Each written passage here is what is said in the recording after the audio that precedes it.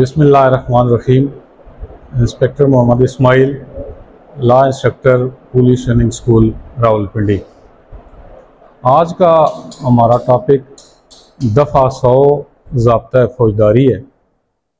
دفعہ سو ضابطہ فوجداری کے مطابق ایسے اشخاص کی تلاش جو کہ حبس بے جا میں رکھے گئے ہوں۔ Search for persons wrongfully confined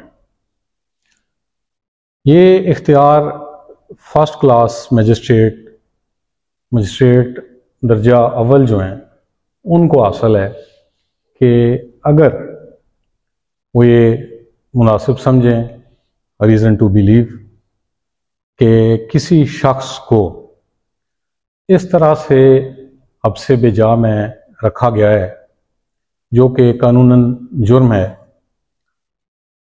تو وہ ایسے شخص کی تلاش کے لیے مجسٹریٹ درجہ اول وارنٹ جاری کر سکتے ہیں۔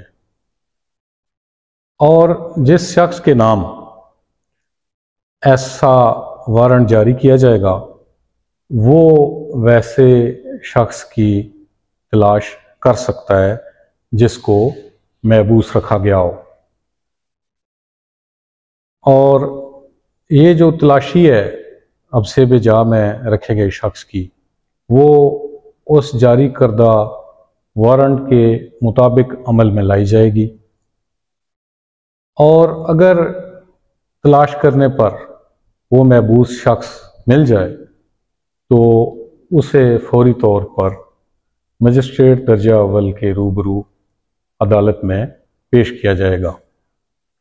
جس پر مجسٹریٹ ایسا حکم صادر کرے گا جو مقدمے کے حالات کے مطابق اسے مناسب معلوم ہو۔ شکریہ۔ بیٹا، اگر اس حوالے سے آپ کا کوئی سوال ہو تو ضرور پوچھئے۔